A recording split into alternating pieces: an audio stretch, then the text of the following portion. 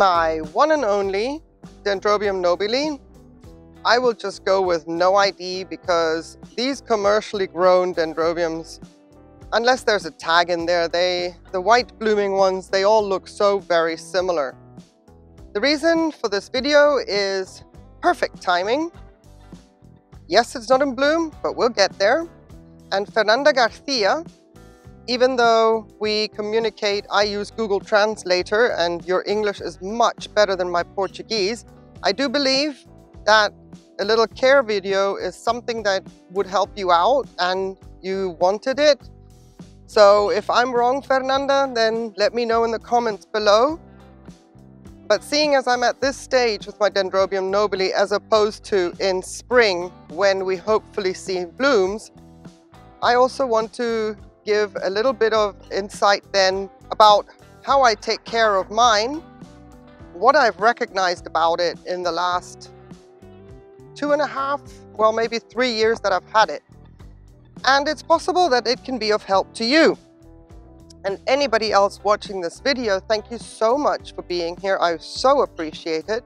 All the knowledgeable gurus, I really, really appreciate if what I say is contradictory and that you would mention that in the comments below so that anything trail of thought can be clarified for the benefit of everybody, including myself.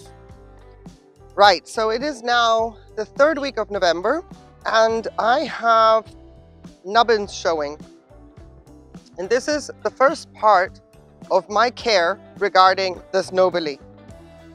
I have been pushing all summer with a lot of fertilizer and keeping that reservoir topped up to the max and flushing it regularly. And I use a strength of 300 ppm. My preferred setup, you can see, is LECA, only LECA and self-watering. So during the months of active growth, I am just making sure that this orchid gets so much water as much as it can handle. And now that these growths have finished, you can see that the leaf here at the end is a bit smaller. It comes out at the top of the apex. So it doesn't have any more potential of growing. And the cane is now as thick as the ones it came with. Not as tall, but I'll get to that as well. But we have the same thickness of the cane as previously.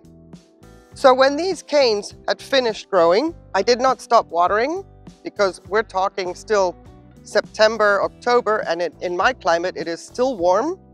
I had temperatures up to 25 degrees, but I did continue to water. I left the reservoir with only RO water. So I did not reduce any kind of watering, despite the fact the canes were mature. However, now I've got little nubbins showing. And I should actually think, okay, it's doing something and I'm going to fertilize. But I am now only waiting to fertilize when I see actual buds forming, coming out. It still gets water, but no fertilizer. And I'm going to wait for these nubbins to show me buds. If they choose to produce keikis, then there was something off in the culture of the orchid during the growing season. And that could be two factors. I'd let it go dry or it got too much light. Mine lives in full sun most of the growing season. Even though the leaves seem kind of delicate, they can take that full sun. Of course, when a new growth starts, I gradually increase the light level in order to then have it out in full sun. Full sun can give two things, blooms or keikis. But one thing that will guarantee you to get keikis if I were to start fertilizing right away. Just because I see nubbins, okay, fertilize. Like with some dendrobiums, when you see something happening, you go straight to fertilizing. For example, my dendrobium tetragonum, pushing buds, I'm fertilizing straight away. With these nobile types, it's not a good idea to do so, to give any nutrition until obvious buds are visible. There's plenty of storage in that cane to do what it's doing. There are other culture tips that say it should be dry in my climate, I don't do that.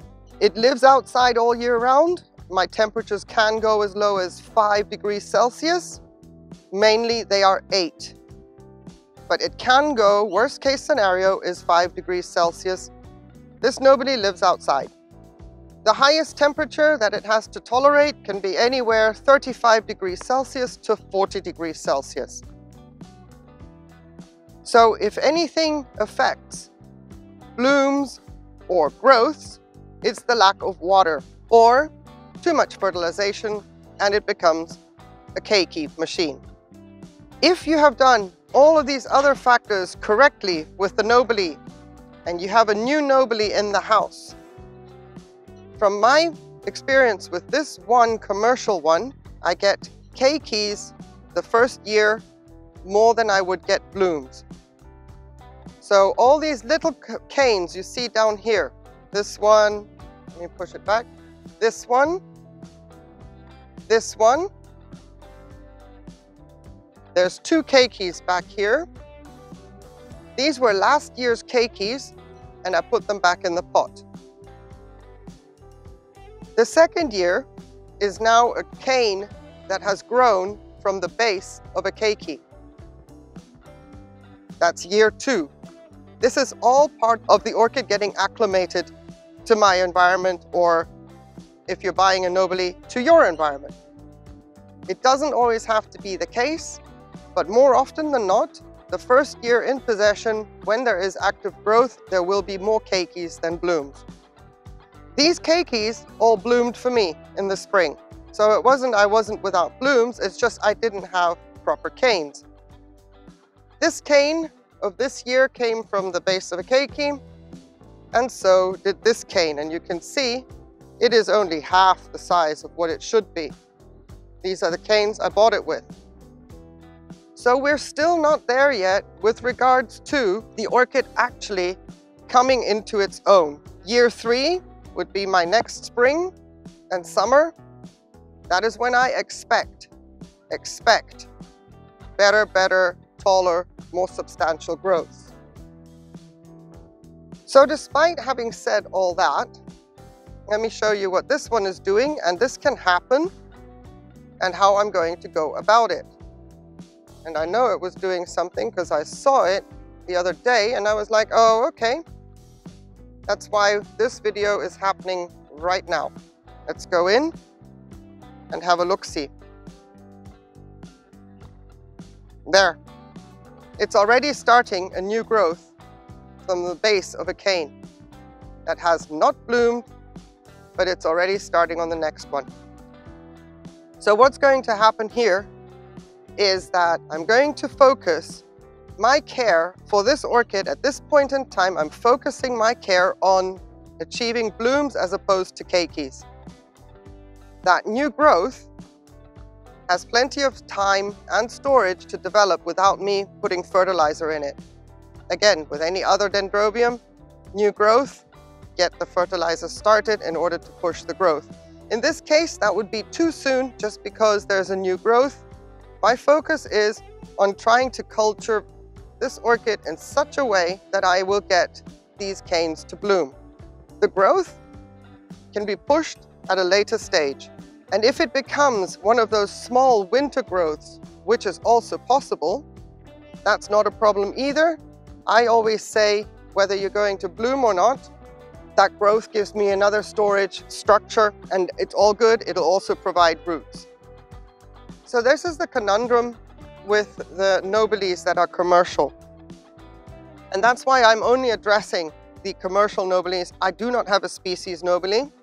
I know that their care needs to be much more targeted and not as wishy-washy as what I'm saying about these commercial ones. These commercial ones are pretty forgiving, but it is important to note that it's not that you're doing something wrong if you're getting keikis after you've brought it home from a store, it's finished blooming, and then it starts to just produce keikis. That's nothing to do with whether you're doing something wrong or not. These Dendrobium nobile types will chuck out keikis. It's a form of a stress signal.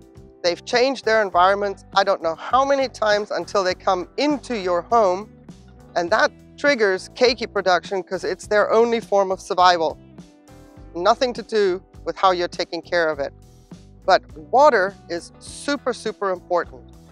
So depending on your climate, depending on whether you're growing outdoors or indoors, all factors in with the watering cycle. I never let mine go dry. Mine tolerates the temperatures outdoor in my climate as far down as 5 degrees Celsius. Even though I never let that microfiber go dry, the only difference I make is when do I fertilize, when don't I? And I will only now start its fertilization when I see the buds forming on these nubbins that are starting to grow right here. Up till then, it's just water.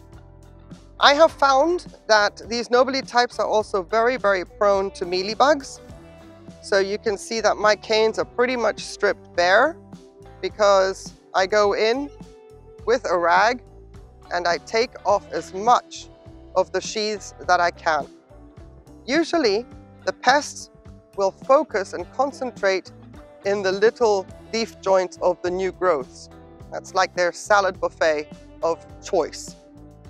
I lost two growths this year on this one because of mealybugs. Not for any other reason, and it was too late until I recognized what the problem was. But again, the beauty of this orchid is that even a basal growth that has failed will produce roots. So yes, I was a bit cross because I wanted to see how far I could push all the canes that were growing. But on the other hand, I have some more roots. So there's a little bit of a weighing out of the positives and the negatives there. And I have one and a half like cane that will bloom for me in the spring if I get the fertilization timing correct, which is pretty easy, only water until buds start to show on the canes. I think I have covered everything. If there is something else that I did not cover, then please, Fernanda, let me know in the comments below. If this has created other questions, also fire away in the comments below. And everybody else that has a bigger collection of nobiles it would be awesome if there's anything else that I did not cover or it sounded like I was talking in circles or misleading. Please also clarify that in the comments below. I would encourage that because at the end of the day, I can only say what I'm doing in my Mediterranean climate in the hope that any other environment that takes this information can at least adapt to fit and suit what they do in their environment. Thank you so much for taking the time to watch. Click on the video, leave a comment. I really appreciate it. And Fernanda, you let me know if I did your request justice. And I hope to see some Nobiles on your channel. Have a wonderful day. Stay safe. Take care. Bye.